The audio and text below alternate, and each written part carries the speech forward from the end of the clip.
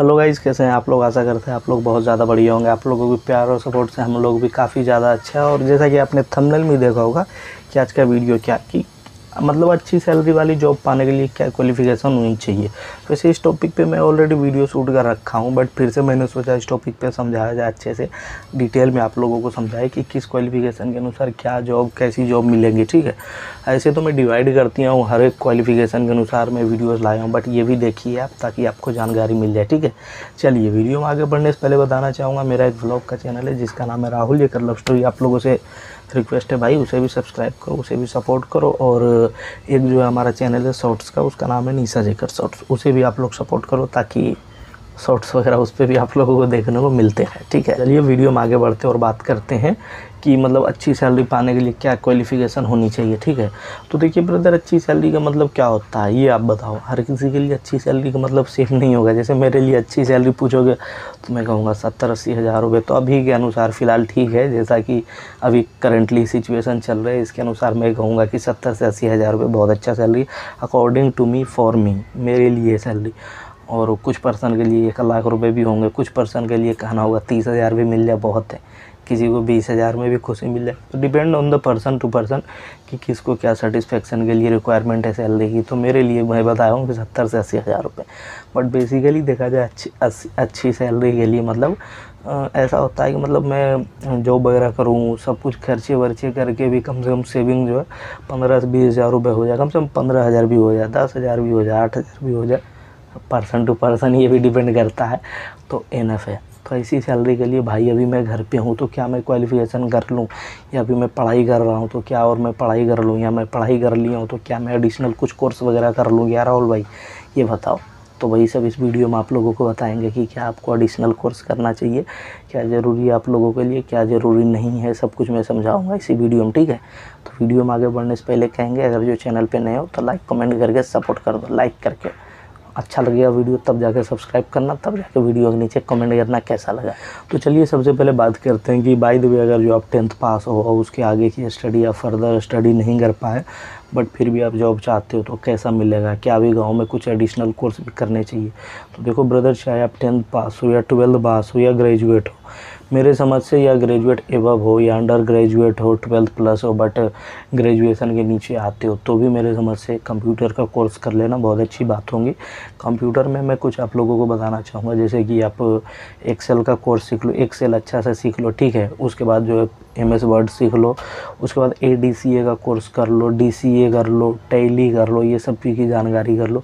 ये सब करने के बाद आप टाइपिंग सीख लो। अच्छा टाइपिंग होना बहुत ज़्यादा ज़रूरी है, ठीक है?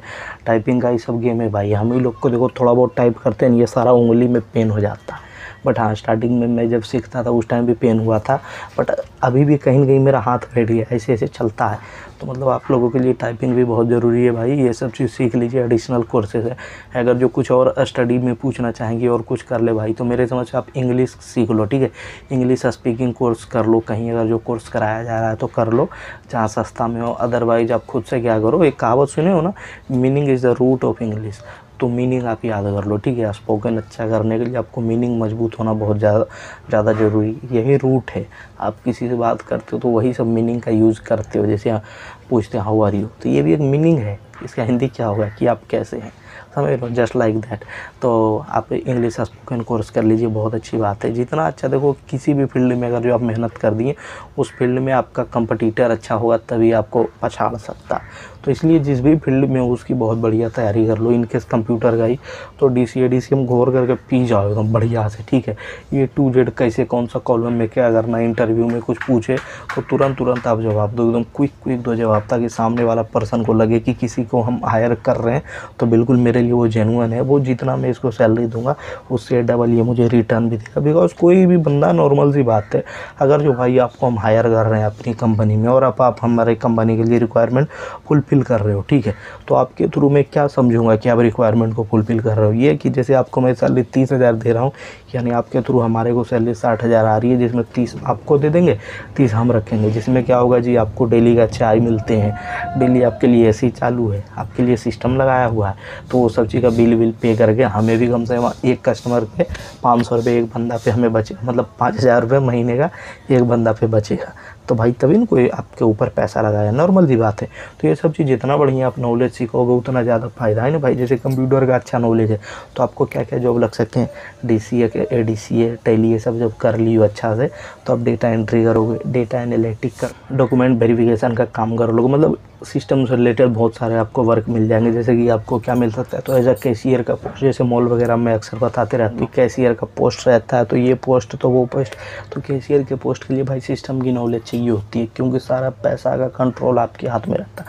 कैशियर का मतलब क्या है? कैश के साथ आपका भाई सारा काम है। तो कैश को आप अच्छा से रखोगे अच्छा से वहाँ टाइप करोगे किसने किस, कितने का नोट दिया, कैसे क्या, हर एक कॉलम में सब कुछ भरना पड़ेगा। तो सिस्टम की नॉलेज होगी तभी ना आपको कोई भी ये जॉब देगा। क्योंकि ये जॉब भाई छोटा मोटा नहीं, भाई किसी कंपनी का पैसा संभाल लो, एक भी रुपये चोरी हुआ ना, फंसोगे आप। एक्स्ट्रा लाए तो भी आप चोर कहला जाओगे, समझे ना? तो इन चीज़ों को आप ध्यान रखिए और सिस्टम का नॉलेज ले लो भाई। बहुत अच्छा है, चाहे आप टेंथ पास ही क्यों ना हो। सिस्टम की जानकारी लो। बहुत सारे आपको वर्क मिल जाएँगे सिस्टम से रिलेटेड ठीक है। डेटा एंट्री वगैरह में जैसे जैसे आप पुराना होते जाओगे सैलरी पचास हज़ार, साठ हज़ार सत्तर हज़ार ऐसे जाएँगे भाई। ऊपर ऊपर तक एकदम चला जाएगा। बहुत सारे हमारे जान पहचान के जो यहाँ रहते हैं, अच्छे खासे मतलब पैसा कमाते हैं, ठीक है? भाई, तीन महीने का कोर्स यही सब कंप्यूटर करके आओ। इंग्लिश का भी नॉलेज ले लो। इंग्लिश का भी बहुत फ़ायदा है भाई। देखो बड़े बड़े शहरों में क्या होता है? बड़े बड़े शहरों में पढ़े लिखे लोग रहते हैं। अक्सर पढ़े लिखे लोग मतलब थोड़ा इंग्लिश में ज़्यादा बात करना कंफर्टेबल होते हैं।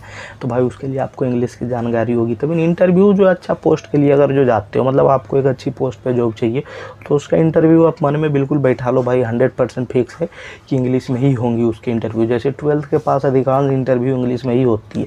हिंदी में आप कॉल सेंटर वगैरह में ही दे सकते हो, ठीक है? और बहुत सारे कॉल सेंटर में इंग्लिश में भी ले लेते हैं, जैसे बीपीओ वगैरह में करोगे तो। तो इसलिए मेरे समझ से जितना हो सके उतना मतलब इंग्लिश को अपना मज़बूत बनाओ। डेली मीनिंग मीनिंग वगैरह याद करो भाई। मीनिंग आप स्ट्रॉन्ग करो अपना ट्रांसलेशन सीखो, सब कुछ सीखो, तभी ना आप हर किसी के बातों को समझ पा रहे हो, सामने वाले क्या बोलना चाह रहे हो। भाई ऐसा है कि हर कोई आपसे हिंदी में ही बात कर ले, ज़रूरी नहीं है। Lots of people think English is classic language आप समझता है इंग्लिश में बात करेंगे, बंदा समझे, सामने वाला कि हाँ इसके अंदर कोई क्लास नाम की चीज़ है नॉलेज है। इसलिए इंग्लिश पे ज़्यादा फोकस करो भाई। जितना हो सके उतना आप अपने अंदर जो है स्किल डेवलपमेंट करो स्किल को डेवलप करो, ताकि आपका ग्रोथ हो सके, अच्छी सैलरी मिल सके। किसी भी कंपनी का आप एकदम बन जाओगे हाँ भाई इसे जो निकाल दिए ना कंपनी से तो हमारी कंपनी गिर जाएगी, ऐसा लग रहा है। ऐसा अपने आप को बना लो, ताकि आपको अच्छी खासे पैसा वो दे जो आप मांगो। ऐसा इंटरव्यू दो कि लगे सामने वालों को कि इसी को मैं ढूंढ रहा था, और आप जो फिर उस टाइम पैसा डिमांड करोगे वो देगे देगा बिल्कुल, क्योंकि आप उसकी डिमांड को अगर जो पूरी कर रहे हो तो वो भी आपकी डिमांड को इजीली पूरा करेंगे। भाई तो इस चीज़ पे आप बिल्कुल ध्यान रखिए कि अगर जो चाहते हो, वो वो आपको वो सैलरी दे, वो कंपनी जो आप चाह रहे हो तो आपको वही काम करना पड़ेगा जो वो चाह रहे हैं। ठीक है, सेवा बिना मेवा नहीं। सुने हो ना? मतलब भाई, अगर जो आपके अंदर वो टैलेंट ही नहीं है तो कहाँ से कोई भी पैसा दे देगा? सोचने का क्या? मन में तो सोलेंगे हमारी सैलरी ये रही हो रही पर एक्चुअल में उस सैलरी का लायक है, वो इंटरव्यू के बाद पता लगेगा। तो ये सब कोर्स वगैरह कर लो टेंथ के बाद भी कंप्यूटर इंग्लिश ये सब स्ट्रॉन्ग करो ट्वेल्थ के बाद भी ग्रेजुएशन के बाद भी अंडर ग्रेजुएशन हो तो भी करो। बिल्कुल भाई ये सब चीज़ जितना हो सके इंग्लिश तो एकदम दबा के सीखो। इंग्लिश जो है सिस्टम की नॉलेज जो है, जानकारी ले लो। वो कम्युनिकेशन की कैसे कम्युनिकेट किया जाता है सामने वाले पर्सन से, ठीक है? कोई आपको काम दे रहा है, कोई आपको जॉब दे रहा है तो किस तरह से हम कम्युनिकेट करें? जिस काम के लिए हमें रखा गया तो कम्युनिकेशन बहुत ज़्यादा मैटर करती है। अपना कम्युनिकेशन को मतलब डेवलप करो अच्छा करो बिकॉज़ देखो, ये गाँव नहीं भाई, यहाँ और वहाँ में बहुत फ़र्क है, समझ रहे हो इस बात को? तो कम्युनिकेशन चेंज करो पर्सनैलिटी अपना डेवलप करो अच्छा पर्सनैलिटी बनाओ, सामने वाला पर्सन मिले, कहा हाँ बंदा बिल्कुल जिन है, बात अच्छे से करो, सब कुछ एकदम अच्छा रहो भाई, ठीक है? ना ज़्यादा बियर्ड रखो, ना ज़्यादा मूछ रखो, बढ़िया वेल मेंटेन रखो, खुद को इजीली कंपनी हायर कर लेगी, ठीक है? ऐसा है तो ये सब कोर्सेस करो, ज़्यादा अच्छा रहेंगे, और आपके मन में और भी कोई डाउट्स है तो कमेंट करो, उस पर भी वीडियो ला देंगे, ठीक है? इस वीडियो को यहीं रोकना चाहेंगे। देख कर कैसा लगा बताओ। अच्छा लगा तो लाइक करो और अच्छा लगा कमेंट करो और अच्छा लगा शेयर करो और अच्छा लगा सब्सक्राइब करके सपोर्ट करो। कैसा लगा वीडियो? ठीक है। बाकी चलिए मिलेंगे किसी और वीडियो में। तब तक जी जय हिंद दोस्तों। बाय